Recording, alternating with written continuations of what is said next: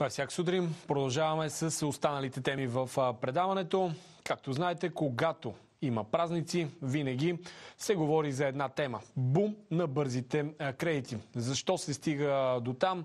Разбира се, условията не са от най-добрите. Знаете, срещу колекторските фирми скочи и омбудсмана на Република България Майя Манолова и срещу тези, които дават лихви с, заеми с, срещу високи лихви. Всичко това обаче сега следва да бъде обговорено тук в студиото на всяка сутрин. Ще отидем към живата ни връзка, където е нашият репортер Кристина Абаджиева, за да поговорим за това как а, трябва да бъдем а, а, настроени по, по време на празниците, когато взимаме бързи кредити. Имаме ли възможност а, да избегнем а, лихвите? За всичко това обаче от а, Кристина Баджиева и нейният събеседник Лачезар Богданов от Industry Watch. Добро утро, Криси, към теб. Добро утро, Митко. Добро утро и на зрителите на канал 3. Намираме се в офиса на Лачезар Богданов, макроекономист от Industry Watch. Добро утро. А, така около празничните дни излязаха няколко доста неприятни статистики, една от които е, че над милиони и половина българи нямат възможност да посрещнат а, коледните новогодишни празници заради липса на пари. Пък това води до друга статистика, увеличава на исканията на бързите кредити. А всъщност динамиката е от доста години. Тя показва, че всъщност една част от българите всъщност успяват да спестяват, натрупват спестяване и това се доказва от статистиката за депозитите в банковия сектор. Друга част, разбира се, нямат спестявания и съответно техния начин да получат малко по-голям разполагаем доход в даден период, когато имат нужда, е да ползват, да ползват кредит.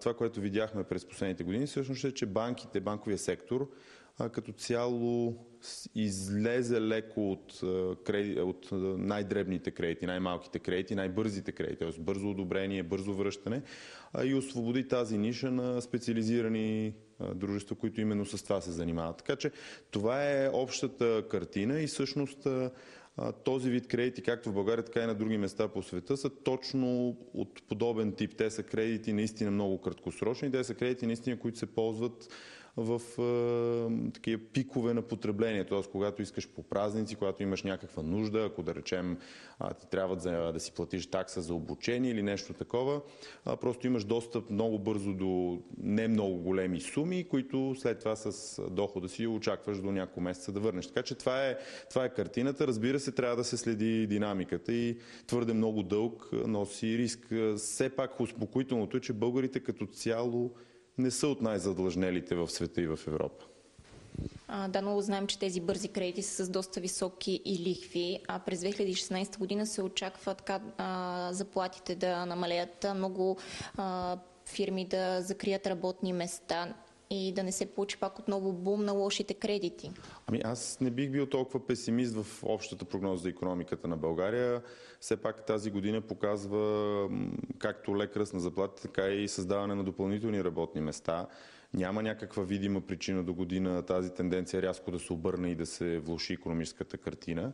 А, при всички случаи а, тези, бързите кредити наистина са с по-високи лихви от това, което традиционно наричаме кредитни продукти, но в общия случай замисъл е те да бъдат много бързо върнати. Тоест това са кредити най-често наричани до заплата. Тоест ти ползваш сега, до следващите една или две заплати или три успяваш да ги да изплатиш сумата.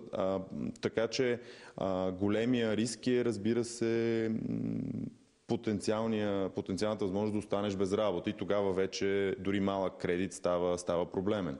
Така че ключовото всъщност е да, да имаме достатъчно работещ пазар на труда, така че малко хора да остават без работа. Тези, които останат без работа по една или друга причина, например инвеститора закрива предприятие или го мести на друго място, да могат до няколко месеца си намерят друга работа, така че да не изпаднат в това тежко положение. А, в крайна сметка 2-3 месеца без работа едно, една или две години без работа е съвсем друго.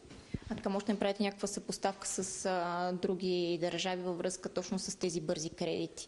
Възползват ли се там хората, защото знам, че тук доста хора се възползват и сега дори има страшно много и телевизионни реклами, които предлагат. Ами, пазар е различен. И психологията вероятно е различна, и много други условия са различни, но това, което, което трябва да имаме предвид е, че страните с много по-развити финансови услуги и такива, които са ги развивали доста повече десетилетия от нас, всъщност при тях достъпа до лесен, необезпечен, бърз кредит е всъщност чрез кредитните карти. И това е различно от България. В България кредитните карти доста по-малко са проникнали, но за сметка на това имат други възможности за, за такъв бърз кредит. Така че ам, и в други страни има подобни, подобно търсене. Тоест има хора, които нямат спестявания, хора, на които бързо им се отваря нужда от а, някаква малка сума пари, но по възможност незабавно. Там това става, пак казвам, чрез, чрез достъпа до кредит през кредитната карта. Отново там лихвите също са доста, доста високи, ако просрочиш срока за плащане. Така че подобен е проблема. Всъщност подобен е на, на, на България проблема. И а, разликата все пак в полза на България е, че ние такъв дълг на домакинствата трупаме от, а, няколко, от няколко години. А, докато в някои страни, например Съединените щати, Великобритания, Холандия, там домакинства са доста по-задлъжнели и са трупали такъв дълг, както разбира се за жилища, така и за най-различни други потребления, включително автомобили и други стоки с дълготрайна употреба от, от много-много десетилетия. А, така че при нас все още този вид задлъжнялост на домакинства не представлява макроекономически проблем. Не можем да кажем, че това няма да срути нито банковата система, нито економиката като цяло, поне към този етап. И един финален въпрос. Според вас проблем ли е в България, че се появиха толкова много небанкови институции? Ми те запълват ниша, която банките не искат да запълват. Банките искат да, да са ниско рискови, банките са подложени на много сериозна регулация не само от а, българския регулатор от БНБ, но и от вече от, от европейските институции.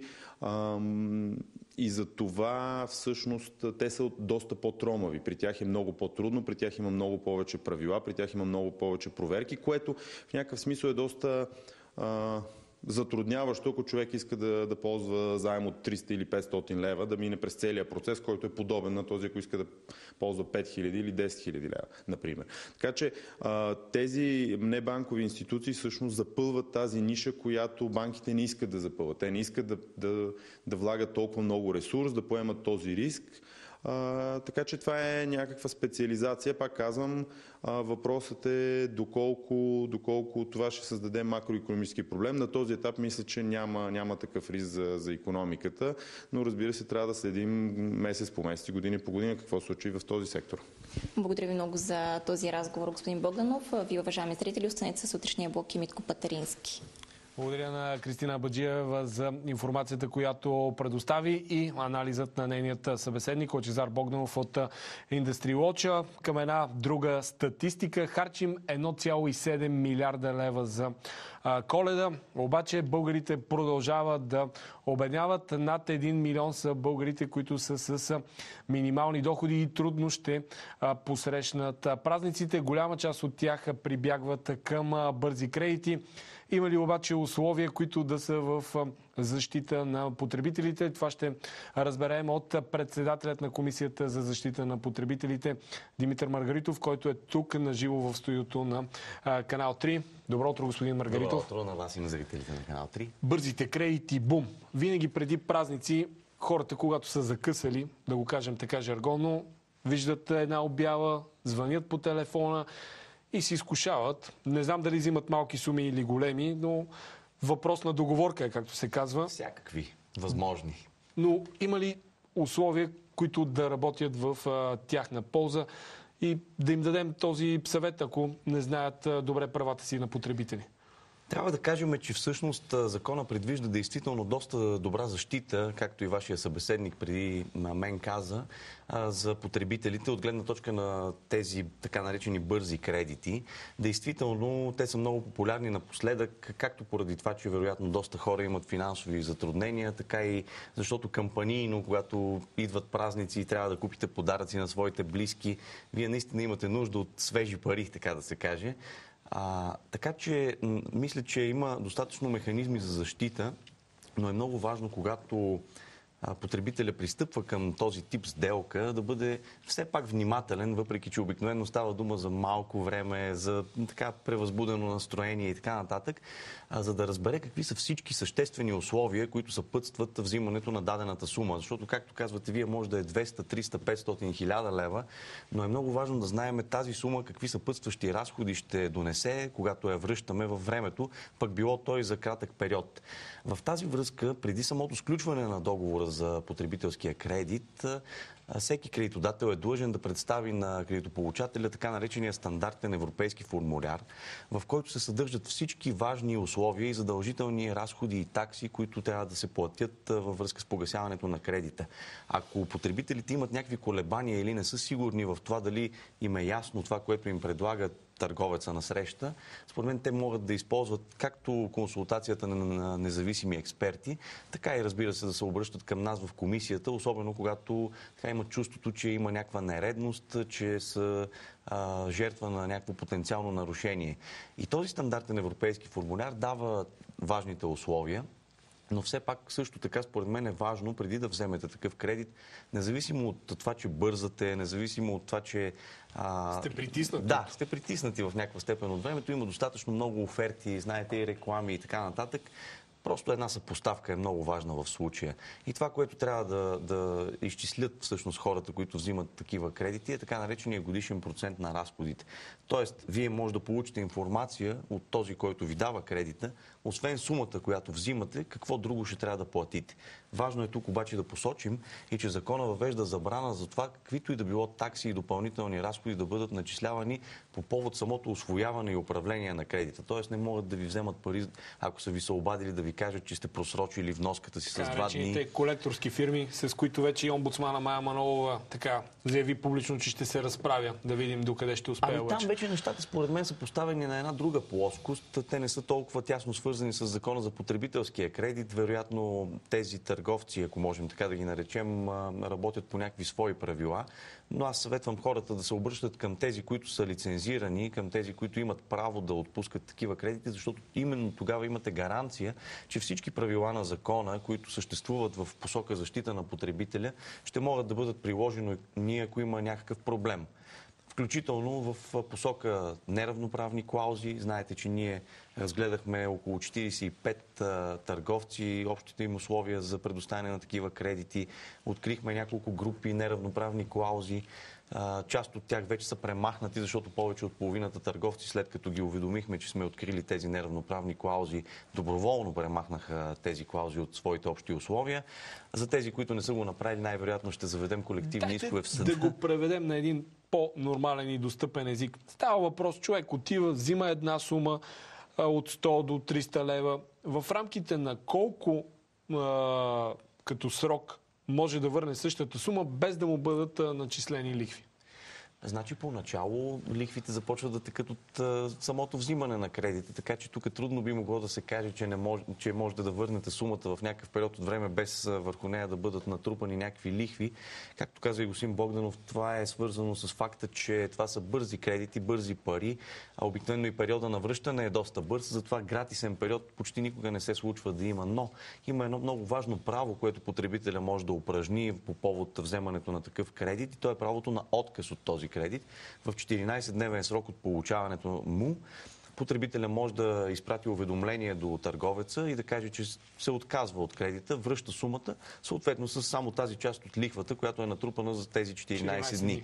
Да, безусловен отказ, връща сумата заедно с тази част от лихвата, която е натрупана за 14 дни. И всъщност това е, може би, един съвет, който ние трябва да дадем на потребителите сега по коледа, по нова година. Такива хипотези е възможно да възникнат, защото непосредствено след празниците, когато направим статистиката за това какви подаръци сме подарили какви подаръци сме получили, може да се окаже, че вече един кредит, който сме взели в навечерието на новата година, не ни е потребен и можем да упражним правото на въпрос, че тук проблема става още по-дълбок, защото ние знаем как се връща заем господин Маргаритов, той се връща с рефинансиране. Така и взимаш друг източник, при други условия. Това, за което го заговори господин Богданов. Банките са пък другия вариант, нали, с а, кредитна карта, оттам да, да може да изтеглиш да, пари. Така, има различни инструменти, действително. Аз си давам сметка, че не е приятно да се вземат пари на заем, защото когато ги взимаме, понякога не си даваме сметка, че трябва да ги връщаме. Но пак да кажем, има достатъчно механизми, а, дори част от търговците са се обръщали и към нашата комисия с апели, че е прекалено рестриктивно нашето законодателство в тази посока, но за нас е важна потребителската защита. Има достатъчно механизми, по които потребителя може да се защити срещу различни атаки и хитрини от страна на търговците, които отпускат. Мисля, че тази тема я изчерпахме. Бяхме доста така а, напоителни, напоителни в това, което казахме. Обаче да преминем към това. Какво се крие като рискове в онлайн търговията и ще има ли проверки от страна на КЗП по време на празниците? Имате ли така мобилни екипи, които да работят през и по време на празниците? Всъщност, когато говорим за онлайн търговията, екипите ни са стационарни, защото да. те наблюдават нещата на екран, но искам да кажа, че ние сме много активни в последно време, защото статистиката показва, че тази, този сегмент на пазара се развива най-активно в сравнение с всички останали. На годишна база ние наблюдаваме някъде около 35% увеличение на броя на потребителите, които вече предпочитат да пазаруват онлайн. Рисковете там, Това води до едно много сериозно засилване на паричните и финансовите потоци, които между другото се акумулират в този този тип търговия, така че много важен сегмент наистина. А, основните рискове са с това да бъдете заблудени, да бъдете излъгани от търговци, които, търговци бих казал в кавички, които не съществуват реално, т.е. да си поръчате нещо, дори да го заплатите и то да не дойде при вас. А, затова аз приканвам хората внимателно да разглеждат тези сайтове, да се убеждават, че действително на среща има някой. Търговеца би трябвало задължително да посочи свои данни, имейл, телефон, на който вие да може да се свържете, да проверите дали той действително съществува, какви са неговите координати и така нататък. А, и след това много е важно, според мен, да се прави съпоставка.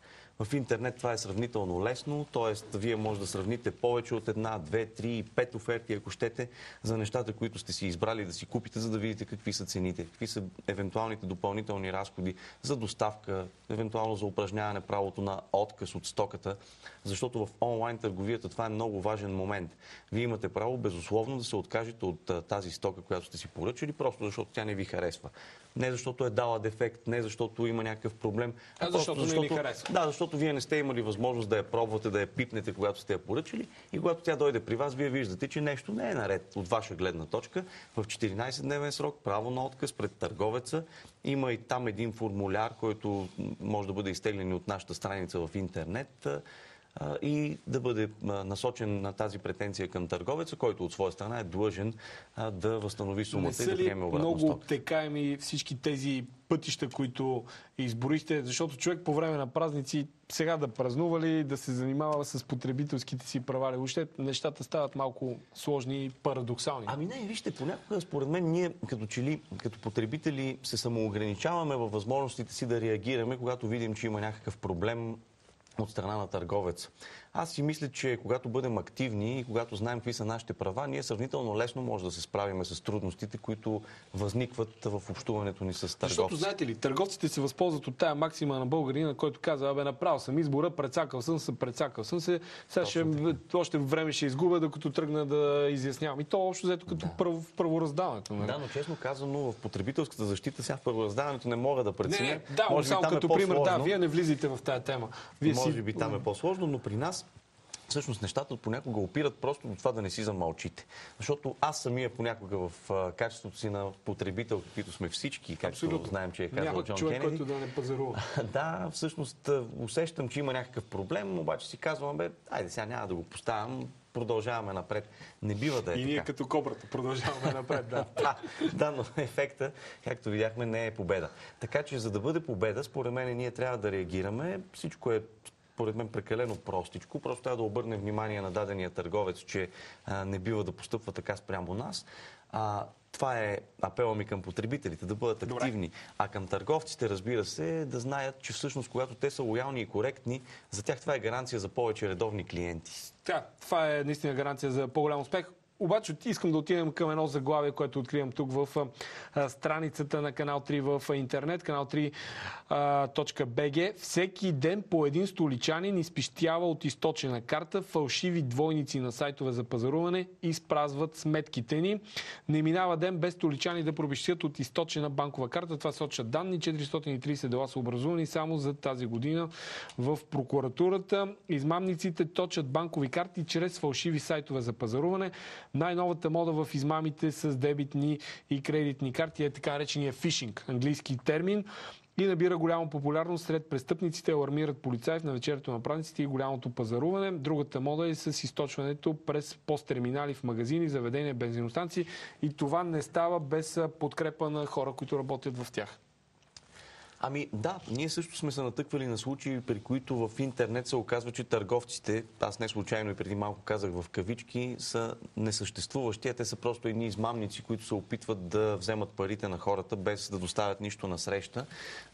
имахме дори едно съвсем конкретно произнасяне по такъв случай, заедно с органите на реда успяхме да открием лицето, което в най-различни интернет портали отправяше анонси и оферти за доставки, хората си плащат, той не ги доставя нещата, съответно парите а, отиват а, и трябва да бъдат възстановени. А, така че аз още веднъж бих искал да кажа, когато хората пазаруват онлайн, много внимателно да проверяват дали на среща действително има търговец, както и да правят съпоставки на различни оферти. Когато вие може да сравните, много по-лесно може да се ориентирате дали някой не се опитва да ви заблуди. Дали Включително... някой не се опитва да им прави фишинг. Да, включително бих искал да кажа, че а, това е особено важно, когато има големи проценти намаления, когато ви удрят, така да се каже, с едни а, така бомбастични примамки, да, като процент намаление на стоки и така нататък. Гледайте самите цени, не толкова процента. Съпоставете. Да. Понякога сме изкушени наистина бързичко да приключим сделката, защото нещо искаме много силно да го имаме. Но повярвайте ми, не е чак толкова трудно да отделиме малко време, защото всъщност това са най-важните неща. Това са нашите пари. Понеже разговорът с вас е динамичен, ще ми се да поговорим и за нещо, което по коледа доста често се случва. Човек си прави планове, решава, че за коледа трябва да си купи ново обзавеждане, секция, гардероб, хладилник или някакъв друг битов електрически уред какво правим, когато доставката не идва в сроковете, които фирмата, от която сме закупили, ги а, предлага, защото тяхното оправдание, когато заднеш на горещия телефон е имаме много поръчки, не ни съвпадат адресите, всички тези неща, с които се сблъсква човек, когато пазарува по такъв начин. Ами всъщност, ако а, срока за вас е толкова важен, че вие не може да го предоговорите и той не е спазен от търговеца, вие имате право да развалите сделката и да си получите парите обратно. Нека да го кажем кратко и ясно, защото това е така. Ние сме се натъквали на подобни случаи, особено когато става въпрос за мебели, битови електроуреди. Да, Хората обикновено имат нужда от тях в точно определен момент, защото си подреждат къщата, влизат в нов дом и така нататък и така ами, нататък. Ами, празници са, господин Маргаритов. Предполагам, разбираме хората. И когато да. се случи такова нещо, това е хода. За съжаление, неприятно е, защото вие няма да получите в крайна сметка стоката, но поне ще си върнете парите. Такава претенция трябва да бъде адресирана към търговеца. Ако все пак имате възможност малко да отложите, да изчакате, закона дава възможност да се предоговори срока на доставка, като в този случай обаче търговецът, според мен, е задължително да направи някакъв отбив в цената. Да, в крайна сметка пък можем да се възползваме от а, този отбив на цената, за който вие говорите. Не дай си Боже пък, ако след празниците цените на стоките падат. Това е друга тема, ще си говорим обаче с вас. След празниците, пътуванията обаче по празниците, тези, които а, са оговорени, въобще как а, трябва да защитаваме там потребителските си права? Ами аз да ви кажа, смея съвсем накратко да се похваля с това, че всъщност при нас като цяло намаляват напоследък жалбите от нелоялни туроператори. Ние непрекъснато следим тяхната дейност, не само кампанийно, както например сега по повод 8 декември а, и коледно-новогодишните празници, но все пак е много важно хората да пазят документите, които са свързани с сключването на този договор за пътуване, организирано, а, ваучерите, касови бонове и така нататък, за да може, ако има някакъв проблем, който бъде адресиран към търговеца и търговеца не успее да го удовлетвори, ние да съдействаме за това да бъде получено обещетение. Всички тези туроператори са длъжни да застраховат дейността си Това е механизма, по който може да се удовлетворят претенциите на засегнатите потребители. Но е важно да наистина да се пазят документите, за да може, ако възникне някаква неприятност, тя да се адресира първо към самия туроператор, който е длъжен да съдейства. Ако ли пък не, тогава ние сме на среща, за да можем да се опитаме да решим казуса. Имахме няколко случая през тази година за съжаление неприятни. Един от тях беше свързан с деца в чужбина, които почти бяха оставени без подслон. Но нашата намеса спомогна за това да се реши казуса. Така че нека се обръщат хората към нас, а към туроператорите същевременно пак отправям апел. Коректност и лоялност. Това е формулата. Казахте, ние сме на среща, хората да се обръщат към нас. Говорите от лицето на Комисията за защита на потребителите. Дежурни екипи ще имате или как ще действате по празниците? И да, какви сигнали обикновено има по време на празниците, които така попадат във вашите прерогативи? Част от нещата са свързани с туристическия продукт. Разбира се, сега все пак ние сме вече в началото на активния зимен сезон, затова нашите екипи присъстват по-плътно в зимните курорти. Вече открихме нашите приемни в Банско и в Пампорово. Предстои да заработи приемна в Боровец. През месец януари ще имаме един изнесен временен офис в Чепеларе, който за нас е доста важен курорт, тъй като е с голям потенциал за развитие. Там миналата година имаше един проблем който надявам се вече е решен с ски писта, която ние, за съжаление, трябваше да затворим. Сега обаче надявам се всичко да е преодоляно. Но за нас е важно нашите екипи наистина да са на терен, да присъстваме близо до хората и в приемните, които вече работят, и в тези, които предстои да започнат работа, а хората да ни откриват лесно и бързо, да могат да адресират към нас както своите жалби и сигнали по повод на някакви конкретни нарушения, които търговците са направили, така и за да се информират какви са техните базови потребителски права, как биха могли спокойно, без напрежение да се защитят, ако усетят, че има някакъв проблем. Защото, пак казвам, много е важно да не си мълчим, когато виждаме, че има някакъв проблем. Телефон, който да работи. 0700-111-22, денонощен, могат да се обръщат към нас на този телефон потребителите. Да, изписане на екрана както в момента, и да подават жалби по интернет. Нашия сайт вече е реновиран и позволява това да се случи сравнително лесно и бързо. Така че стремим се да бъдем наистина от полза, надявам се и да сме от полза и ще продължим да, да действаме активно. Добре, да завършим разговора ни малко по-оптимистично. Чета едно заглавие. Слънчево чак до нова година, пролет за коледа в цяла Европа. Това означава, че когато има такова пролетно време, сетивата на хората са по-емоционални, пазаруват, как се казва, празници са, светли празници са, всеки гледа кой както може, един с бързи кредити, друг с спестявания, трети пък да отиде някъде на почивка. Въобще, вашият съвет, който да обобщи а, всичко това, така че да изкараме наистина едни спокойни празници. Наистина важното е да имаме хубаво време, да имаме добро настроение, защото това е гаранция, че празниците ще преминат добре. Очаква се да бъде акумулиран някакъв сериозен финансов ресурс в пазаруване, така че на потребителите бих искал още веднъж да кажа, въпреки предпразничното настроение, което е много приповдигнато, въпреки желанието да купим подаръци на всички близки, да, така, да зарадваме хората, на които държим, все пак малко по-внимателно, особено когато става въпрос за високи проценти намаление, съпоставка при възможност, особено при пазаруване онлайн, а към търговците съм длъжен отново да отправя апел да бъдат коректни и лоялни, защото това е, това е формулата. Така е навсякъде по света, включително в тези държави, например Съединените щати, където, когато кажем черен петък, действително имаме предвид, че там има 70% намаление, а не 70% върху 50% от миналия месец и така нататък. Тоест, лоялността и коректността изгражда такъв един пазар, който позволява всички да са доволни или поне така да си мислят. Добре, сега сещам да ви попитам относно а, натоварването на мобилните мрежи по време на празниците, най-вече в тези след а, настъпването вече на 2016 година. Това вече преодоляно ли е като проблем, защото всеки тогава иска да се звънне, да се чуе. Има трафик на мрежата, натоварване на мобилните оператори. Длъжен съм да кажа, че всъщност нашата статистика показва, че най-много жалби и сигнали ние получаваме именно в този сектор на телекомуникационните услуги и стоки, които са свързани с това. Аз мисля, че това не е чак толкова, как да кажа, не, ненормално, защото не е всички, да. всички хора потребяват тази услуга. Надявам се обаче, че качеството на услугата става все по-добро. Ние следим пазара, където имаме компетенции, се произнасяме, когато видим, че има нелоялни практики. Обвързват ли ни с други стоки и услуги в договорите? Те преди всичко са свързани с това, че понякога без да разберем, особено когато говорим за хората от третата възраст, които напоследък също са доста активни потребители на този тип услуги, бих казал, че са по-уязвими и към тях се адресират такива нелоялни практики. Вие си плащате сметката за телефона, пък всъщност се оказва, че като излезете от офиса на съответния оператор, да, сте сключили договор с още нещо. А, да, и това е, това е проблема реално. Според мен това е. От гледна точка на техническите обезпечености на функционирането на тези системи не мога да, да кажа. Моето впечатление като потребител е, че напоследък като че ли все по-малко проблеми има в тази посока. Може би и конкуренцията си, си казва думата. Но това, което ние виждаме, това, което откриваме и за което санкционираме операторите, е именно опита им да така да привлекат всеки потребител към колкото се може повече услуги, независимо от това дали са му потребни или не.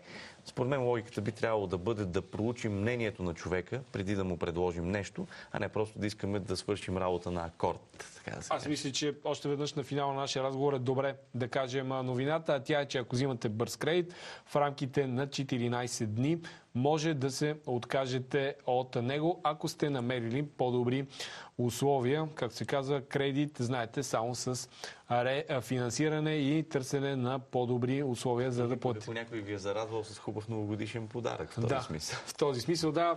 Защитавайте правата си и по време на празниците. Видяхте, има изписан и телефон, с който може да се свържете с Комисията за защита на потребителите.